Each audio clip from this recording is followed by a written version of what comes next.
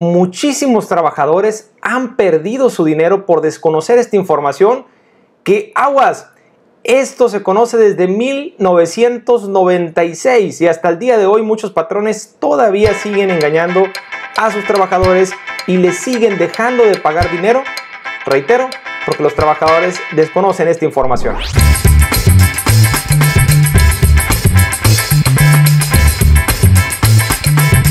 Servidor, licenciado José Luis Espinosa, director de Bufete Espinosa y especialista en asuntos laborales. Desde 1996, la Suprema Corte ya había dicho, es decir, nuestro máximo tribunal, el que dice aquí son las cosas negras o son blancas, el que define cómo se interpretan nuestras leyes, dijo, la media hora de comida está dentro de la jornada, porque todavía hay mucha duda que traemos por ahí los trabajadores y decimos, bueno, a ver, la ley dice que son 8 horas por 6 días a la semana. ¿Y la media hora?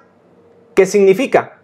La media hora son 8 horas más la media hora, o son las 8 horas y dentro de las 8 horas la media hora. La media hora de comida va dentro de la jornada. Es decir, Tú trabajas 7.5 horas y la otra media hora es hora de comida. Hay muchos trabajadores que desafortunadamente no pueden gozar de esta parte. ¿Por qué? Porque muchos patrones los dejan dentro de las empresas. Les dicen es que tú vas a trabajar esa media hora. Aquí vas a estar.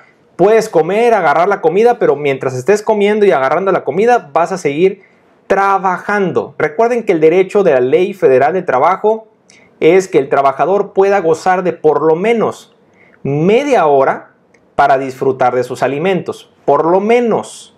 Aguas trabajadores. No es menos de 30 minutos. Es decir, no está a criterio del patrón si me quiere dar los 30 minutos. Es algo obligatorio. Hay muchas empresas donde manejan las famosas jornadas discontinuas que se parte ese, esa jornada. ¿Cómo la partimos la jornada? Muy sencillo, tú le pones a un trabajador 60 minutos para descansar o tomar alimentos y ya estás partiendo la jornada. 60 minutos por lo menos de comer tiempo corrido. Oiga, licenciado, me decía alguien por ahí, oiga, licenciado, pero es que mi patrón me da 30 minutos y luego me da otro descanso de 15 minutos y luego me da otro descanso de 15 minutos. ¿Estoy en una, esa jornada llamada discontinua, esa que se parte? No, porque tiene que ser 60 minutos tomados de manera continua. Cuando estamos en este tipo de jornada partida, pues por lo menos por 60 minutos, entonces estamos hablando que sí es legal que el patrón me haga trabajar, por ejemplo, en una jornada de día, cuatro horas, se parte a la mitad por una hora de descanso o por más tiempo, el que sea, y luego yo regrese como trabajador y labore las, las otras cuatro horas. Esto sí es legal. Pero cuando yo trabajo o descanso solamente 59 minutos o menos, o los descansos están divididos, entonces no es esta jornada partida que estamos comentando, es la otra jornada, en donde el tiempo para comer está dentro de las propias horas de trabajo. ¿Qué significa esto? Pues vaya, pongo el ejemplo. Trabajador que tiene un periodo de descanso de 30 minutos corrido y el patrón le da otros 15 minutos en otro momento dentro de la jornada y luego le da otros 10 minutos. Tiene un total de 55 minutos, no son 60. Licenciado, entonces voy a salir a las 4.25 porque el patrón me está dando otros 25 minutos de descanso adicionales.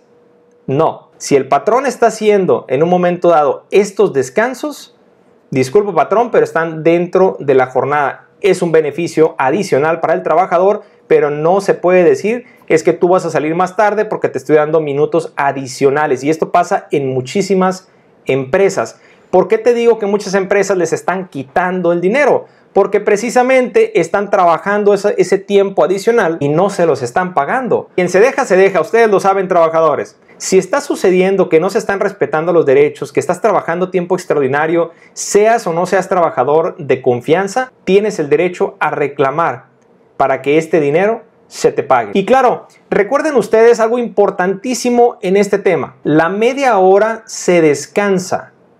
La hora, si en caso de que labores 60 minutos o más, se descansa.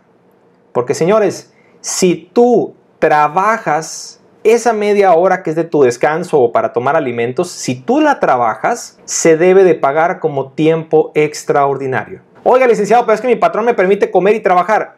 Es lo mismo. Si no lo descansas, es tiempo extraordinario. Si crees que esta información puede hacerte de utilidad a ti o algún conocido amigo, compártela, dale like y por supuesto déjame tu comentario. Estaré encantado de escuchar qué es lo que tú tienes que decir respecto a todos estos temas y qué está pasando, por supuesto, en cada uno de los estados de la República. No olvides suscribirte también a nuestro canal de YouTube, Bufete Espinosa Abogados. Estaré encantado de estar aquí contigo. Ya sabes que estaremos publicando videos nuevos todos los viernes, sábados y domingos. Soy tu servidor, licenciado José Luis Espinosa, director de Bufete Espinosa y especialista en asuntos laborales. Gracias por acompañarnos, nos vemos hasta la próxima y recuerda, Bufete Espinosa, siempre al pendiente de ti.